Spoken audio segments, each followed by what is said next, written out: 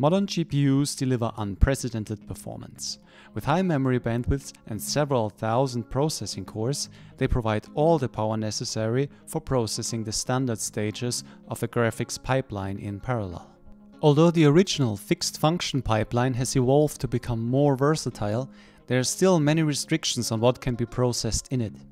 There are many applications and techniques that could benefit from efficient parallel execution as part of the graphics pipeline. We present a high-performance software graphics pipeline architecture based on a sort-middle approach, splitting geometry processing and rasterization into separate stages.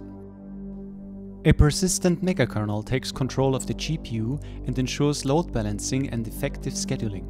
We provide the prototype implementation of our approach named CURE. The name CURE stands for CUDA Rendering Engine it implements a complete streaming pipeline from vertex to frame buffer and is fully programmable. We have evaluated Cure extensively to identify its strengths. The main benefits of Cure compared to other software pipelines are its low memory footprint, its ability to handle versatile rendering scenarios, and the ease of adding extensions. Previous approaches to software rendering on the GPU usually involve straightforward passing on of data through the stages of the pipeline. This can result in high memory demands.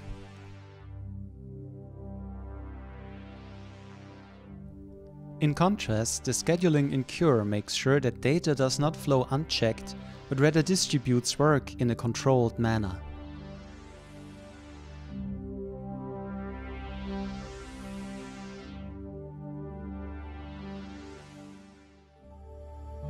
The necessity of handling multiple draw calls efficiently is best demonstrated when looking at the individual graphical elements of a modern game scene. The streaming architecture of Cure allows to operate it much like common established APIs.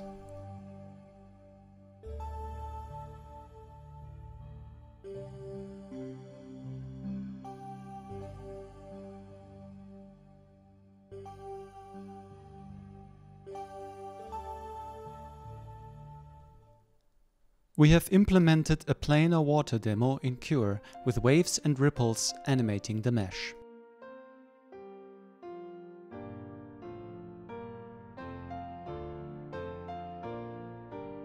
If we zoom in on one of the ripples, we can clearly see jagged edges that diminish the visuals. These artifacts are caused by the triangulation of quads that comprise the mesh. Cure allows us to solve this by defining a custom quad primitive that can change its triangulation dynamically based on a shader.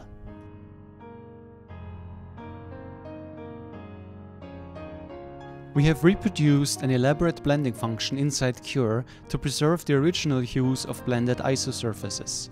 Notice how the rendering on the left receives a greenish tint, while the original colors can be easily distinguished with hue-preserving blending on the right.